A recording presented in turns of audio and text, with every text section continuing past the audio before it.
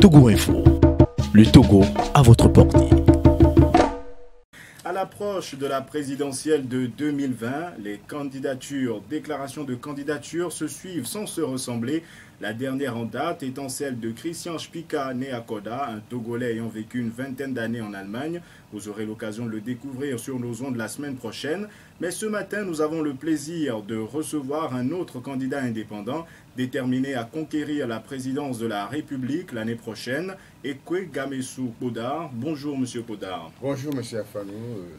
Et ce sera autour du thème présidentiel de 2020 au Togo. Quelle vision pour l'emporter?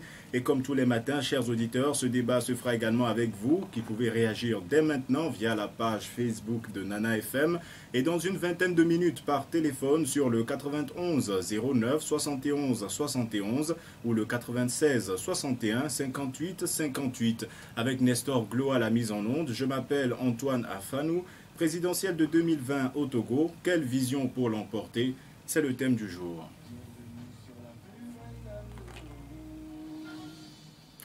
Alors, Ekwe Kodar, il faut dire que depuis la déclaration de votre candidature, certains Togolais ont une certaine idée de votre personne, mais pour les autres, on va aller un peu plus au fond des choses. Qui êtes-vous en, réalité?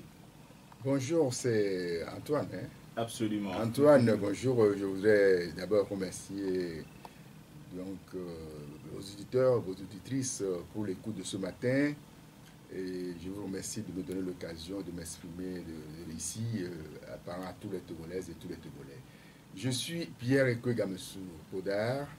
Donc, je suis né il y a une soixantaine d'années à Glidi, Kodi, dans la préfecture des lacs, là où se tient la pierre sacrée. Donc, il y a quelques semaines, on a fait la cérémonie de la pierre sacrée. Donc, je suis juste né là-bas, dans ce, dans ce berceau-là. Et j'ai fait mes études primaires à, l'école euh, de la ferme de Glidi, qu'on appelle aviation à l'époque, et mes études secondaires au lycée de Zébébi maintenant. Euh, c'était en ce moment CEG de Zébébi.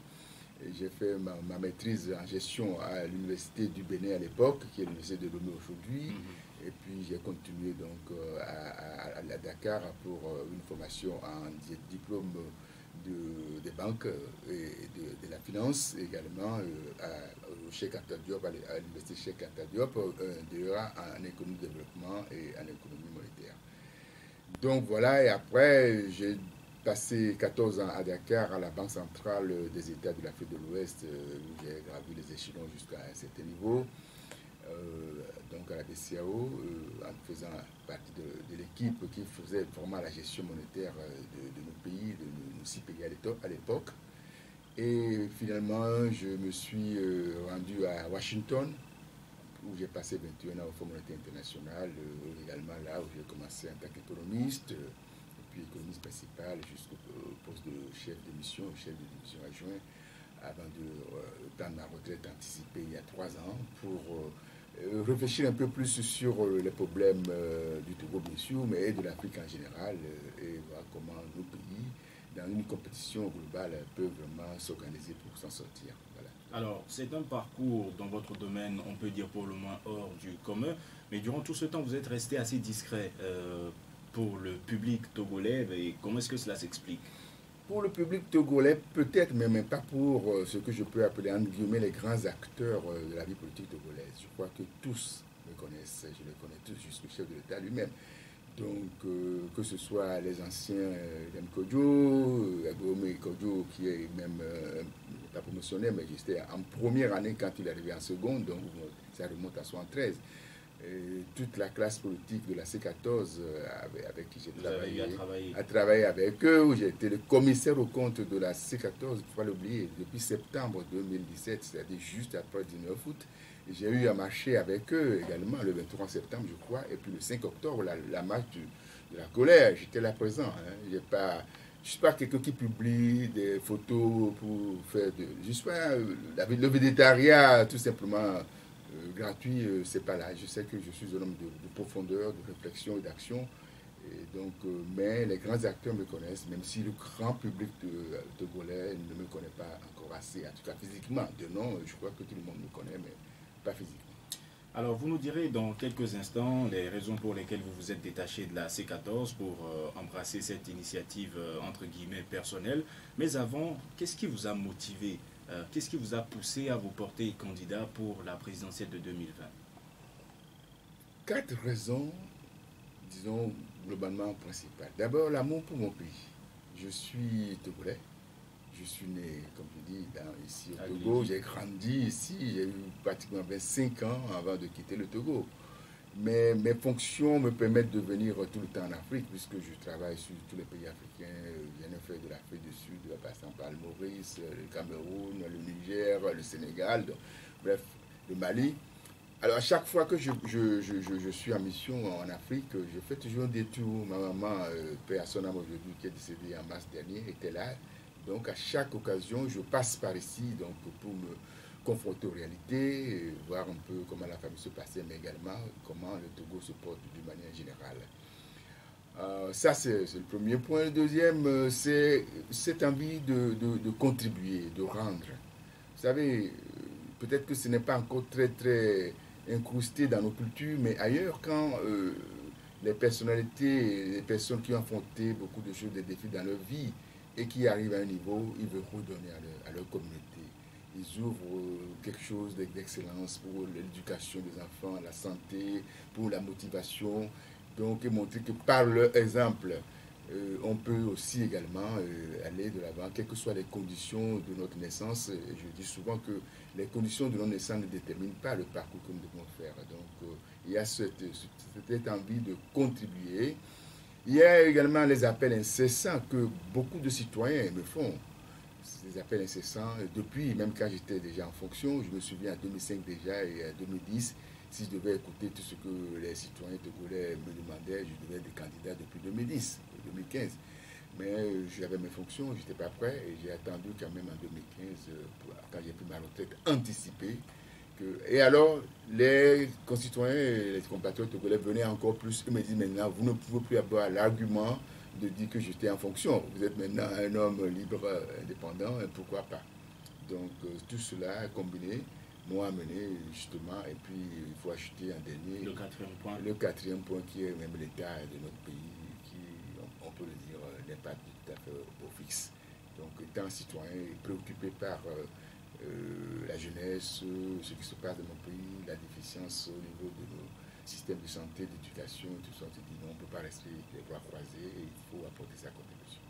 Quelle est la vision que vous portez? Quel est ce projet avec lequel vous comptez séduire les Togolais en 2020 Séduire les Togolais en 2020, c'est d'abord euh, que tous ceux qui sont les Togolais, quel que soit leur bord, qui sont déçus de la gouvernance qu'on a depuis ces deux, trois dernières décennies et qui souhaitent un changement. Et je crois que si vous faites Radio Trottoir aujourd'hui, vous demandez à, 10 Togolais, peut-être il y aura 8, 7 à 8 qui vous diront que vraiment, il est temps, Gamessou, il est temps Comme votre prénom le dit. qu'on puisse faire un changement, pourquoi pas voir d'autres façons de gouverner, voir, pas de visage, mais changer de système. Ce n'est pas une question de visage, c'est vraiment de changer fondamentalement le système de gouvernance et permettre au génie créateur du peuple de se libérer.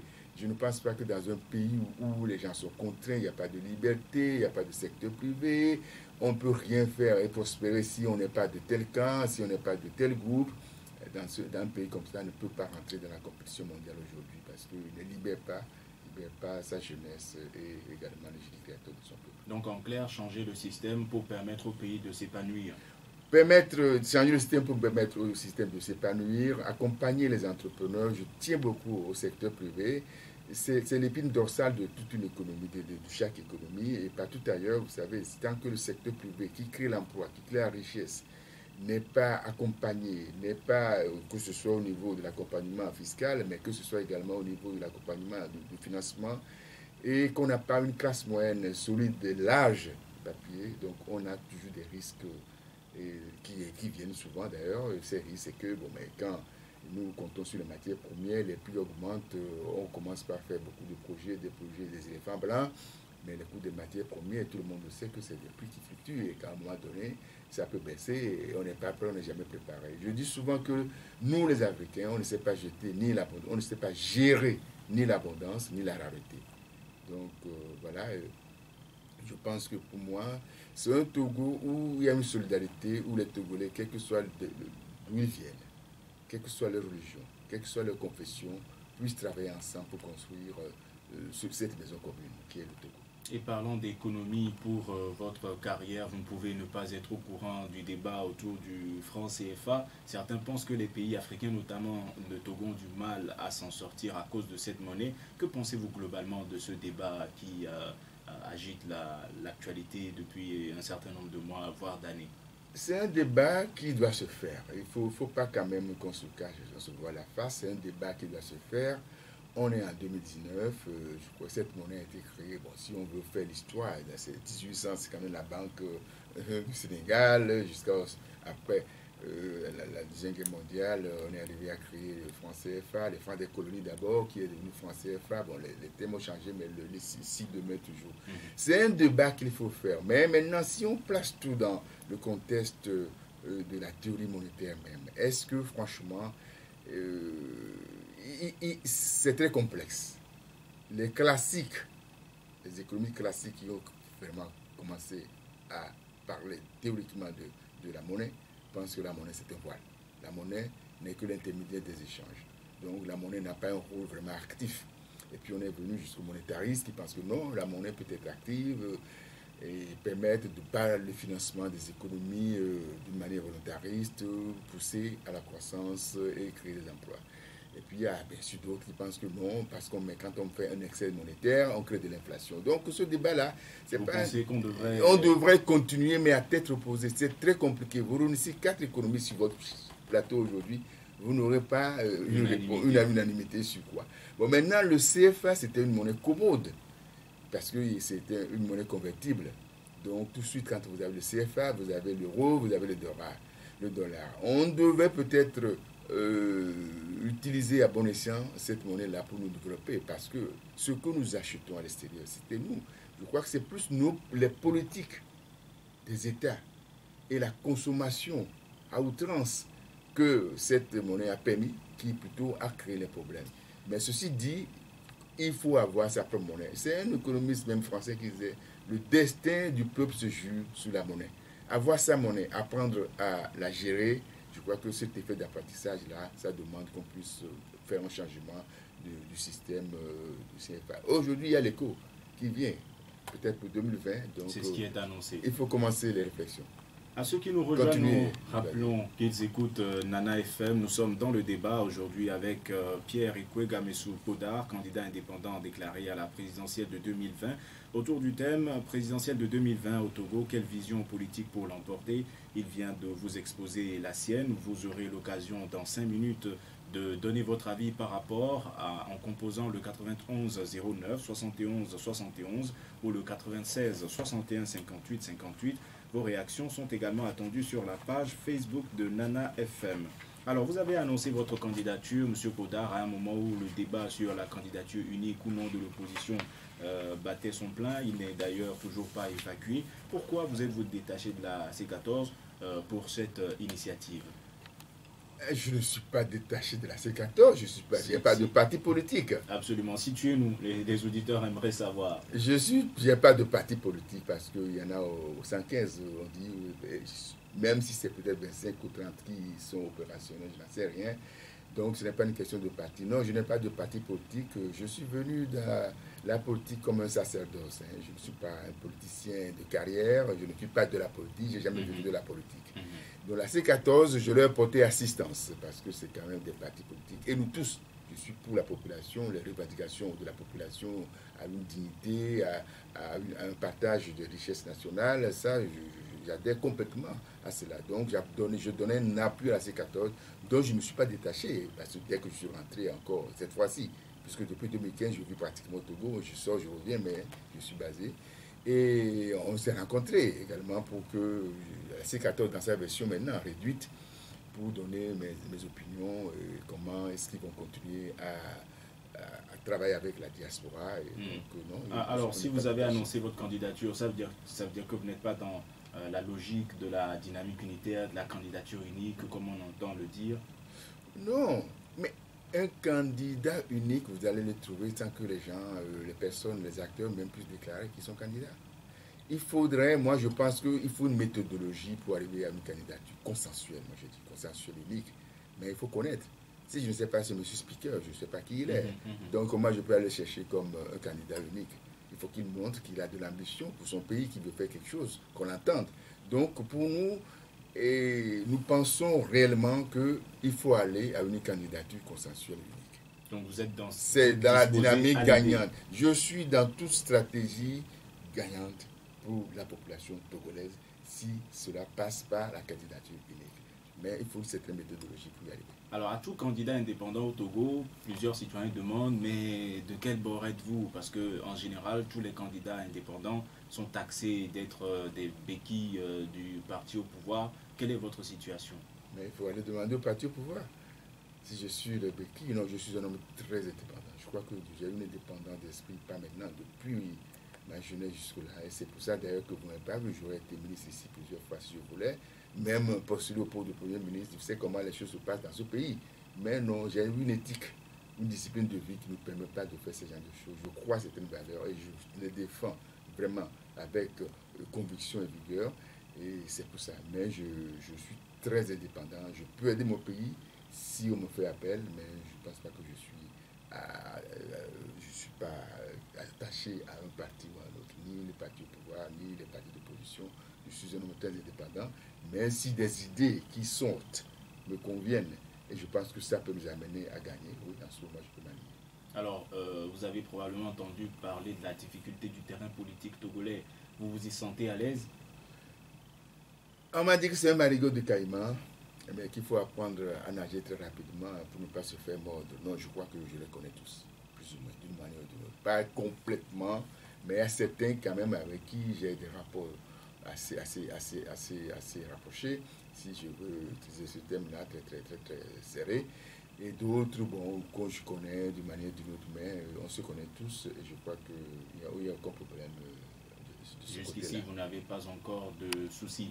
Je n'ai pas de souci puisque je ne suis pas impliqué dans la politique. euh, Je n'ai pas de griefs contre quelqu'un personnellement, mais peut-être que d'autres en ont. Mais à mon niveau, moi, je n'ai aucun problème. Je viens juste en tant que citoyen togolais qui pense que s'il peut apporter sa pierre, ensemble avec les autres, si, le- les, autres, les autres acteurs veulent, pour que nous puissions sortir de cette impasse. C'est une, impasse qui est là depuis longtemps. Le signe indien, comme je dit, et le Togo, malheureusement, est le seul pays de la sous-région qui n'a pas encore connu de transition. Donc, si on peut aider à cela, oui, je le ferai volontiers. Avant de donner la parole aux auditeurs, euh, certains acteurs estiment que l'opposition togolaise néglige un peu ou est absente de euh, l'intérieur du pays. Certaines villes euh, où l'opposition elle-même dit qu'elle n'a pas accès, par exemple la ville de Kara. Avez-vous des projets pour l'intérieur du pays euh, dans les jours, les semaines, les mois qui viennent?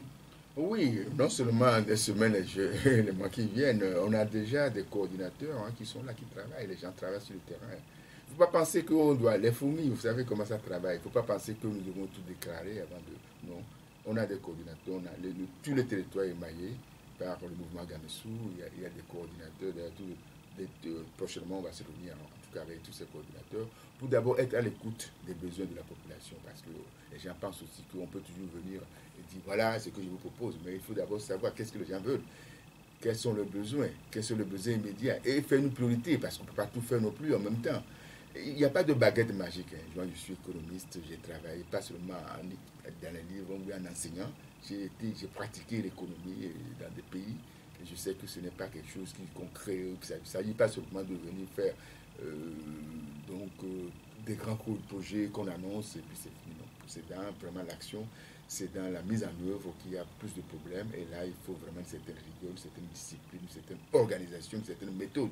C'est ce qui fait la différence. Les pays qui sont avancés, ce n'est pas parce qu'ils ont des matières premières, mais c'est parce que le savoir, la connaissance, l'investissement dans l'humain a été vraiment la politique qui les a amenés là-haut. Alors nous aurons l'occasion d'avoir davantage de précisions euh, sur euh, ce que vous pensez plus ou moins de l'éducation, la santé, l'économie et autres euh, secteurs importants au Togo.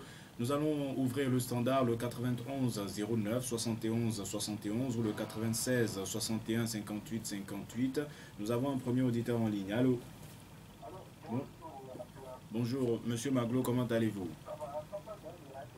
Ah oui, euh, quelques soucis techniques, euh, des communiqués ont été publiés notamment sur la page Facebook de la radio. Bonjour à vous, merci. Alors, Monsieur Maglo, pour vous, quelle vision peut l'emporter euh, à la présidentielle de 2020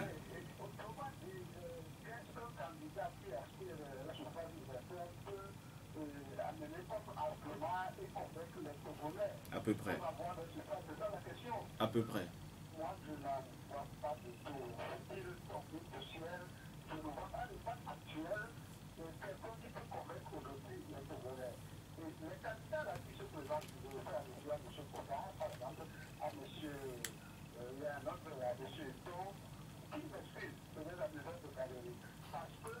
Mais, mais, mais, mais, Monsieur Maglo, Monsieur Maglo, il n'est que 7h37, un peu de gentillesse.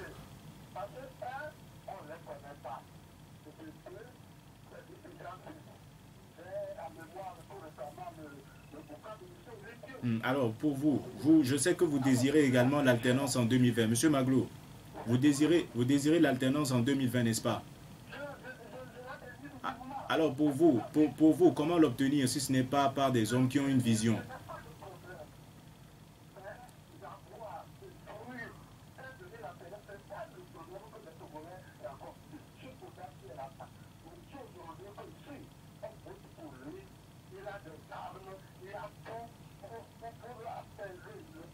Monsieur Maglo, là, j'ai un peu de mal à vous suivre. La question est de savoir si vous désirez l'alternance en 2020, vous estimez que ceux qui se présentent et disent avoir une vision, entre guillemets, sont des amuseurs de galerie. Pour vous, comment va se faire l'alternance que vous désirez?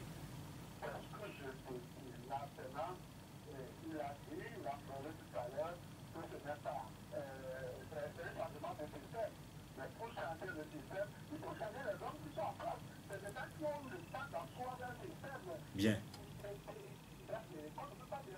Merci, merci Monsieur Maglo d'avoir participé au débat. Passez une excellente journée. Le 91 09 71 71 ou le 96 61 58 58. Euh, Fulbert Folie Adama sur la page Facebook de Nana FM estime que c'est une question importante. Au vrai sens du terme, il estime que nos opposants n'ont aucune vision pour l'alternance en 2020. Ils resteront toujours dans leur rôle qui consiste à légitimer euh, le pouvoir uni. Un autre auditeur en ligne. Allô Bonjour. Vous vous appelez comment Monsieur Kossi, vous nous appelez d'où Monsieur Tossou, pardon, d'Adido Gomé. Alors, à votre avis, quelle vision peut l'emporter en 2020 Je crois qu'il est complètement inconnu de la scène politique congolaise, mais selon ce qu'il a dit, il a toujours été au pays et il connaît la réalité de la politique. Donc c'est quelqu'un qu'on doit soutenir. Mais moi j'ai une question pour lui. Allez-y.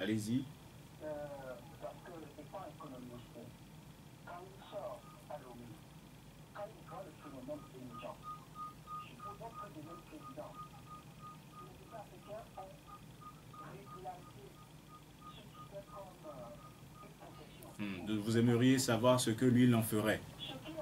Bien. que pour moi, c'est des gens qui travaillent sans endurance et ils- ils mettent leur santé en jeu. Comment ils comptent Parce Bien. que Moi, je suis un supporter de M. Koda, je veux le le premier. Bien. Non. Merci.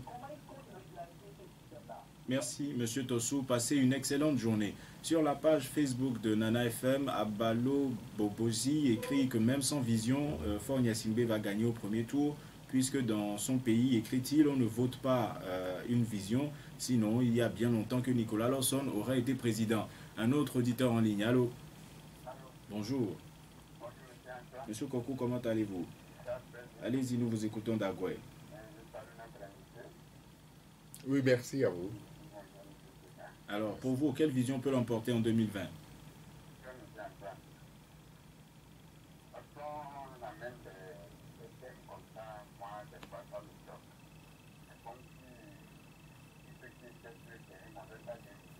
Ah, Moi, je n'ai jamais dit ça. Je ne sais pas d'où vous le sortez.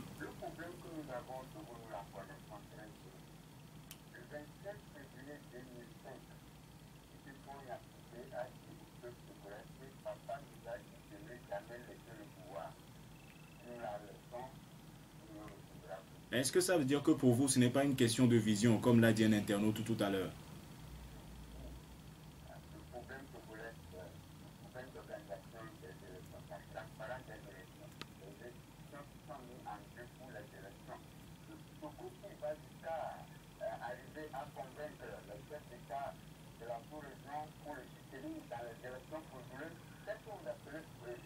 Alors, euh, monsieur, monsieur Kokou, une fois que les conditions sont réunies pour une élection transparente, selon votre logique, euh, sur quels critères vous baserez-vous, vous, personnellement, pour voter, euh, choisir un candidat?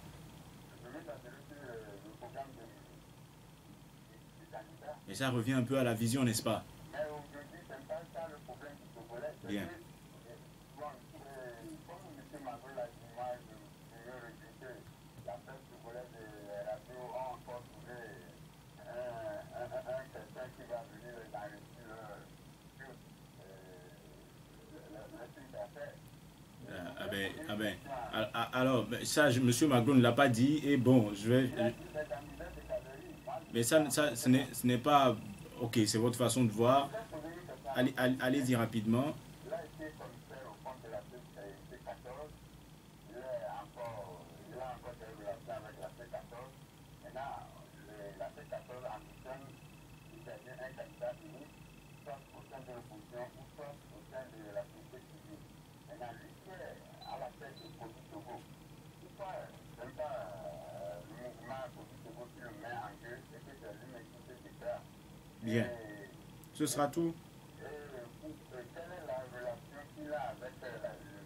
la C14 ici Bien. Merci, merci, euh, monsieur Kokou, d'avoir participé au débat. Passez une excellente journée. Alors, on a eu monsieur Maglo Dagoué, vous l'avez suivi dans son développement. Qu'en pensez-vous, monsieur Podard? Oui, merci à M. Maglo. Je crois que c'est ça la démocratie. hein. C'est c'est lui qui pense de sa façon.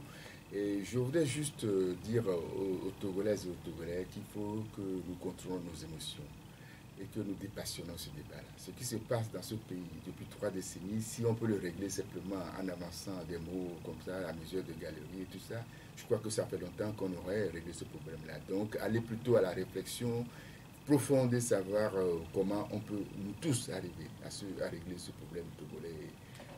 Deux, Monsieur euh, euh, Tossou, je ne sais pas si c'est de lui que vous vouliez parler. oui, oui, je, Il, il vous a, il, a, il a dit qu'il vous soutenait, il vous a posé une question sur la gestion que vous ferez des M, comme on les appelle communément. Oui, merci, monsieur Tossou. Bien sûr, euh, euh, les immigrants, le phénomène est venu. Vous savez, quand c'est arrivé, ce phénomène-là, je crois que nos collègues ont eu à faire le, le- le Togolais au cours d'une élection, ils se sont tous retrouvés dans d'autres pays et on, ils sont revenus avec ça. Non, c'est un sous-emploi, tout simplement. J'ai rencontré des immigrants, il y en a qui ont des maîtrises, il y en a qui ont des licences. C'est le chômage et le sous-emploi généralisé qui amènent ce phénomène-là. Alors, il y a deux moyens de pouvoir régler. D'abord, il faut euh, que nous développons le secteur privé, comme je l'ai dit, et aussi faire en sorte que les jeunes Togolais qui ont des diplômes, qu'on puisse les former, les aider à créer, à être leur propre entrepreneur, à créer d'autres choses. Je crois dans ce pays, il y a tellement de choses à faire. La transformation, même ramasser les, les- les- les- produits qui, qui, qui- qui- pourrissent sur, euh, dans les champs parce qu'on n'a même pas de, de, camion pour aller les ramasser, c'est déjà quelque chose que les gens peuvent faire et transformer. Il y a beaucoup, beaucoup, beaucoup de secteurs d'activité qu'on peut investir dans ce pays si on accompagne cette jeunesse-là. Immigrants, pour eux, c'est vraiment un troisième ou quatrième choix parce qu'ils n'ont pas autre chose. Donc, c'est l'emploi qu'il faut créer. Il faut créer l'emploi, donc ça veut dire que l'économie marche et qu'on a une vision vraiment économique euh, qui pousse à, à l'entrepreneuriat et qu'on forme euh, les jeunes à, à ce niveau-là. En précisant que dans certains quartiers, ce métier n'existe, dans certains pays, pardon, ce métier n'existe pas. Il n'y a que des taxis. euh, Il n'y a que des taxis, on peut, on, peut, on peut les organiser autrement aussi en mettant à leur disposition des, des moyens de, de déplacement plus, plus, plus, plus sophistiqués. Et également, euh, qu'est-ce que je voudrais dire? Euh, Il faut organiser également un transport en commun qui soit, qui soit digne, et qui, qui vient à l'heure pour que les Togolais, au lieu d'être tout le temps dans, sur les immigrants qui causent beaucoup d'accidents, et des dégâts pour des- le corps de celui qui conduit même. Absolument. J'en ai vu des dégâts. euh, Je quittais le grand marché pour venir à Oba. Le temps que j'arrive, j'ai eu deux ou trois morts sur la route. J'étais vraiment sidéré. Alors, euh, Monsieur Kokou, lui, il pense que euh, ce n'est pas la vision qui importe, tout comme un autre euh, auditeur. Qu'est-ce que vous pensez de cette façon de voir quand des gens disent qu'au Togo, ce n'est pas une question de vision, on n'a pas besoin de savoir ce que propose tel ou tel candidat, il faut d'abord que les élections soient transparentes? Dans un sens, il a raison parce qu'en Afrique, d'une manière générale, jusque-là, on vote l'homme. On vote parce que je connais M. Is, M. Il est de là ou Il de est là? de là, il est de mon ethnie, il est de mon village. Donc, malheureusement, c'est encore ça. On ne vote pas vraiment la vision. Mais de plus en plus, je crois qu'on est en 2019, comme je l'ai dit, et au 21e siècle, les jeunes sont bien formés, bien, ils sont ouverts sur le monde et de plus en plus sont exigeants sur euh, ce qu'est-ce qu'on leur propose, quelle vision on a pour le, le pays. Et les élections transparentes, on en a parlé, mais il faut, il faut dire qu'il y, a- il quatre éléments pour la prise de pouvoir dans un pays. D'abord, rassurer ceux qui sont au pouvoir depuis longtemps, parce qu'après tout, ce sont des Togolais, et nous, ils sont aussi peut-être conscients qu'il il est temps qu'on puisse changer de système. Peut-être qu'il y a beaucoup parmi eux-mêmes qui veulent qu'il y ait ce changement-là. Quand on continue de faire de la même façon les choses pendant aussi longtemps et qu'on n'a pas les résultats, ça veut dire simplement qu'il faut changer de, façon de faire. L'organisation des élections transparentes, je suis d'accord avec ceux qui défendent ça. Je crois que dans nos discours de pro- programme, ça a été dit et nous avons euh, également euh, contacté certaines ambassades. On va continuer encore à faire ce travail de lobbying pour qu'une fois les élections au Togo soient organisées de manière transparente, crédible et vraiment sécu- sécuri- sécurisée. Et euh, sur ce, sur ce plan, je suis entièrement d'accord qu'il faudrait que nous travaillions beaucoup sur ce, sur ce, ce- Et. Cody Togo, pourquoi n'avoir pas été mandaté par euh, ce mouvement? Oui, Cody Togo n'est pas un parti politique. Cody Togo, c'est une association, c'est un rassemblement de plusieurs associations de la diaspora. Il y en a au moins une vingtaine. Donc, Cody Togo, pour faire Cody Togo, me, me- donne, euh, en tout cas, ce, statut de candidat de Cody Togo. Il faudrait que toutes les associations se réunissent. Et, moi non plus, je ne veux pas être attaché à, ça. Pour moi, je suis un homme indépendant. Les associations de Cody Togo qui veulent suivre mon programme et qui croient à ce que je fais me suivront. Mais c'est ça la démocratie. Je ne il peut pas venir. Je ne suis pas le, le candidat de la diaspora. Il y a une bonne partie de la diaspora qui me suit, mais ce n'est pas la diaspora. Parce que pour y arriver, il faudrait, comme je l'ai dit pour le candidat unique, faire un processus au niveau de la diaspora. Monsieur Ton, vous l'avez dit, bon, Mhm. il était candidat, il est de la diaspora. Vous voulez nous parler d'un certain monsieur Spiker que je ne connais pas, il est de la diaspora. Alors pour que la diaspora dégage un candidat unique pour la, la représenter, il faudrait alors qu'on ait un processus pour y arriver. Donc ce n'est pas, pas le cas.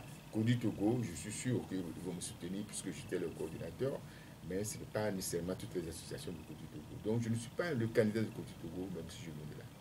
Euh, Vos relations aujourd'hui avec la C14 Il vous a posé la question également. De, de très bonnes relations avec la C14. Bon, individuellement, euh, je, je côtoie certains d'entre eux pour quand même partager euh, nos, nos avis sur le pays, ce euh, qu'il faut faire et, et ce qu'il faut éviter. Mais euh, d'une manière globale, comme je dis, euh, en rentrant il y a à peine euh, trois semaines, j'étais encore avec la C14 euh, à une réunion. Donc j'ai de très, des rapports vraiment très très cordiaux avec euh, la C14. Sur la Et, page, et- et il faut ajouter, hein, parce Allez- que quand on allez-y. parle beaucoup de la C14, mais j'ai travaillé, je travaille avec la société civile. Le professeur Dossé, quand ils organisaient leur premier euh, congrès, je crois, le, le 15 juin, j'étais là, j'étais présent, hein, j'étais parmi le panel, j'étais là. Et euh, j'ai parlé, j'ai contribué, et également, euh, on continue de travailler ensemble. et donc vous ne voulez pas qu'on vous rattache exclusivement Non, à la formation C14. politique ou à une association? Et également avec le, le- le père Afognon, Espérance Togo, le 20 octobre à, à, à Goura Senghor. J'étais dans cette salle, j'ai fait des communiqués, j'ai parlé. Donc, euh, moi, ce qui est important pour moi, c'est que les Togolais puissent se mettre ensemble pour qu'on ait l'alternance en 2020. Il n'est pas une question de C14, si tout est civil diaspora. Nous devons tous travailler ensemble la main dans la main. Le 91 09 71 71 ou le 96 61 58 58 sur la page Facebook de Nana FM Ressou, Jean Kekeli écrit que euh, pour l'emporter, l'opposition doit revoir sa stratégie et si possible avoir un candidat unique, cesser de se lancer des critiques bidons. Euh, il pense qu'après cela, avec l'aide de Dieu, je cite, tout ira mieux. Auditeur en ligne, allô? Bonjour, vous vous appelez comment? Monsieur Folly, vous nous appelez d'où? Ah ouais. Allez-y, nous vous écoutons. Quelle vision pour l'emporter en 2020 Bonjour, M. Boula. Oui, bonjour, monsieur Folly. Euh, moi, je n'ai pas voulu me pointer sur la question, mais est-ce que j'allais demander est-ce qu'il a déjà euh, une, une opération? Sur place à qui il y a déjà un site web pour lui Il a déjà des gens pour former une équipe pour les sur le terrain. Vous voulez postuler Travailler. Vous- Mais Pour la série, ce comment j'ai vu au nord, c'est- c'est c'est pas facile. Donc, tous tous ceux qui parlent de, de la transparence des élections, ils ont parfaitement raison. Ce n'est pas une question de vision aujourd'hui. Mais C'est- comment faire pour qu'on puisse avoir une élection crédible, transparente C'est ça qui est important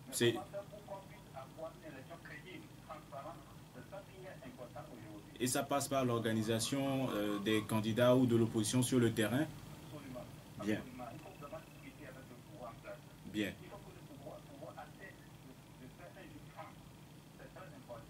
Merci.